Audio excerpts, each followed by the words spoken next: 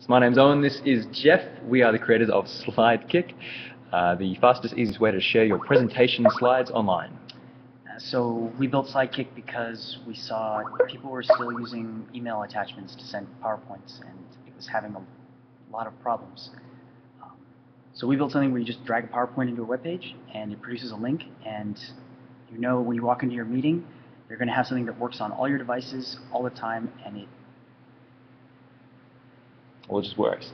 The thing is, um, because you're sending this file uh, as a link, it's actually a web app, although it feels to most people like it's just a normal presentation, but we can do all sorts of really cool stuff with it.